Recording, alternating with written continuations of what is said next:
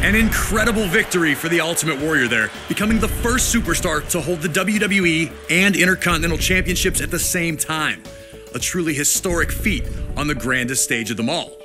A victory that signaled a new wave of change that was about to hit all of WWE. Rowdy Roddy Piper managed to change his luck in WWE when he captured his first championship in the company at the 1992 Royal Rumble. The wrestling world rejoiced for Hot Rod as the fiery superstar showed true emotion in the moment, revealing how much it meant to him. Once the most reviled man on the roster, he was now appreciated for his authenticity. Everyone was happy for him, except for one guy. Bret the Hitman Hart had changed his status in WWE in the spring and summer of 1991.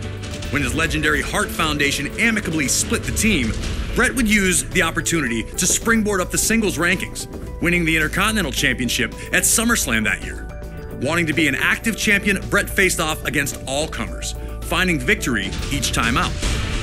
Until a few nights prior to the 1992 Royal Rumble, when Hart lost the Intercontinental Championship. And before he could get a rematch, Piper had swooped in and won the thing. The last thing the Hitman wanted to do was ruin Roddy Piper's moment. The two were close. Piper had trained in the family dungeon and spoke glowingly of not only Bret, but his entire family. I gotta tell you how much I loves your family. I gotta tell you how much I loves your mom. I know you, I know this guy since he's been uh, knee high to a grasshopper. Respectfully, the two agreed to compete at WrestleMania 8, which would emanate from Indianapolis, Indiana.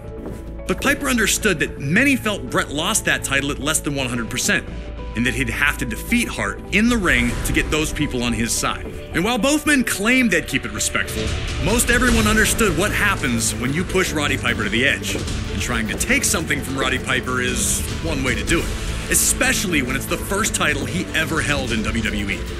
And so it was Bret Hart's technical mastery against Roddy Piper's street fight in an unheralded classic was produced by two absolute masters of their craft. And while they both tried to keep it friendly, you just knew it wasn't going to last. Nearly 20 furious minutes of action unfolded between the two, each with near victories along the way. Blood, sweat, and tears was never more appropriate. The two gave their all on the goal of earning the WWE Intercontinental Championship. So, get in there and do your best to beat Roddy Piper to the punch. But beating Hot Rod is no easy task, even if you are the best there is, the best there was, or the best there ever will be.